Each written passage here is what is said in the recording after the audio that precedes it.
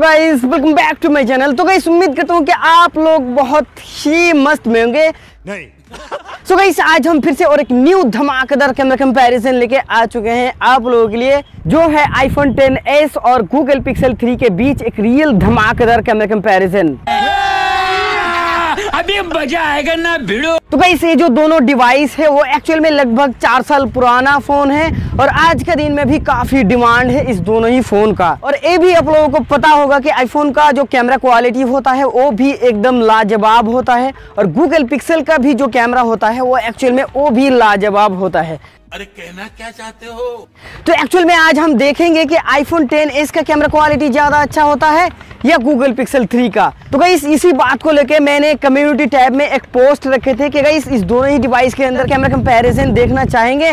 तो ज़्यादातर लोगों ने जो है वो ये लिखा है कि डेफिनेटली इस दोनों ही डिवाइस का कैमरा कंपैरिजन देखना चाहिए। तो भाई इस दोनों ही डिवाइस का रियर एंड फ्रंट कैमरे से मैंने हर लाइटिंग कंडीशन में फ़ोटो एंड वीडियो शूट किए हैं।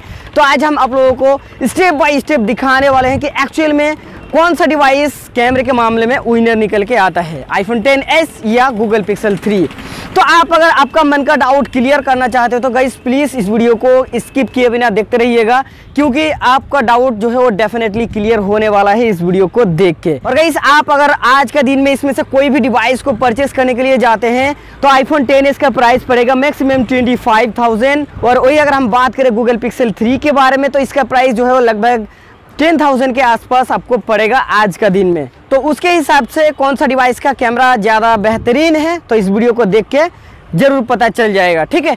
तो चलिए हम सबसे पहले इस दोनों ही डिवाइस का कैमरा सेंसर के बारे में बात कर लेते हैं।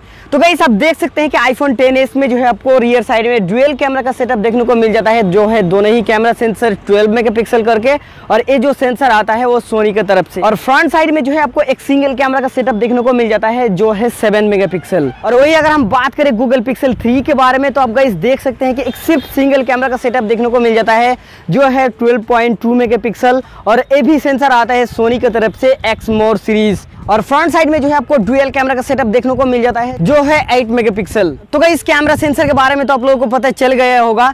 तो इसीलिए गाइस आज का वीडियो काफ़ी इंटरेस्टिंग और मज़ेदार होने वाला है। तो गाइस प्लीज़ इस वीडियो को कंटिन्यू देखते रहिएगा। और इस वीडियो अगर आप लोगों को जरा सा भी अच्छी लगी हो तो प्लीज़ ज़ोर से एक लाइक कर दीजिएगा। तो चलिए गाइस हम देरी किस बात की कर रहे हैं? तो चलिए इस वीडियो को क्विकली स्टार्ट करते हैं।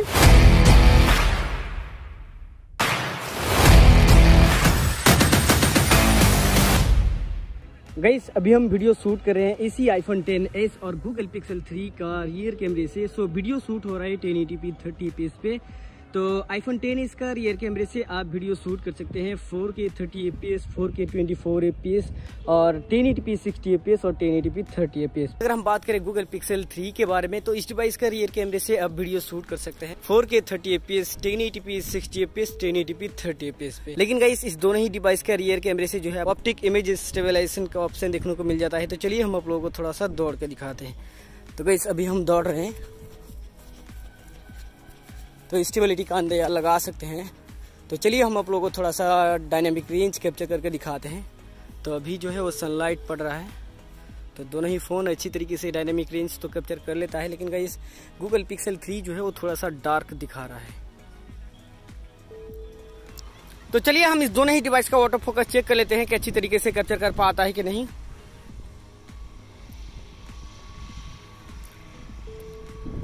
तो गई सब देख सकते हैं, दोनों ही फ़ोन अच्छी तरीके से वाटर फोकस कैप्चर कर लेते हैं। तो एक्चुअल में दोनों ही फ़ोन जो है फास्ट है वाटर फोकस कैप्चर करने में। तो चलिए हम थोड़ा सा जूमिंग टेस्ट भी कर लेते हैं। तो अभी जो है वो वन एक्स पर जूमिंग है। तो टू एक्स पे लगा देते हैं। तो अभी उधर जो है मेरा बाइक खड़ा हुआ है। तो चलिए हम थोड़ा सा अभी जो है वो आईफोन टेन एस में जूमिंग कर रहे हैं। तो आईफोन टेन एस में जो है आप सिक्स एक्स तक जूमिंग कर सकते हैं। और गूगल पिक्सल 3 में जो है आपको 5x तक जूमिंग करने का ऑप्शन है इसमें। तो अंदाज़ा लगा सकते हैं कि कौन सा डिवाइस का जूमिंग क्वालिटी अच्छा है। स्टार को देख लीजिए। तो एक्चुअल में वीडियो क्वालिटी का जो जूमिंग है, वो मेरे को आईफोन 10 का कैमरा बहुत ही अच्छा लगा है जूमिंग के मामले में एक्चुअली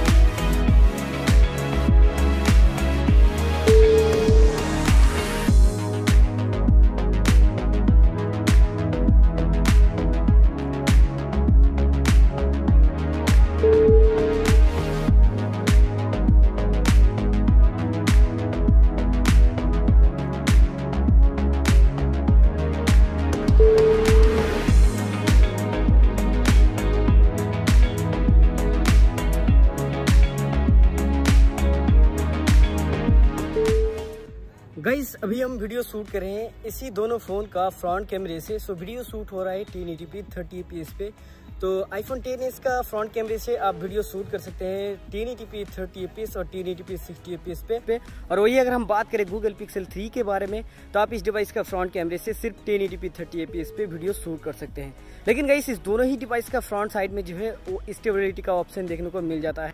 तो चलिए हम आप लोगों को थोड़ा सा दौड़ कर दिखाते हैं। तो अभी हम दौड़ रहे हैं।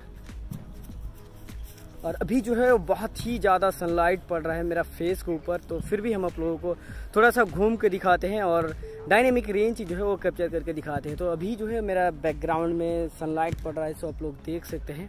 तो थोड़ा सा घूम के दिखाते हैं।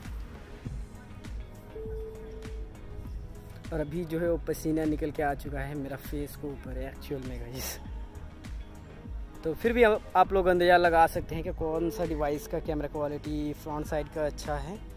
तो स्काई का भी कंडीशन आप लोग देख सकते हैं।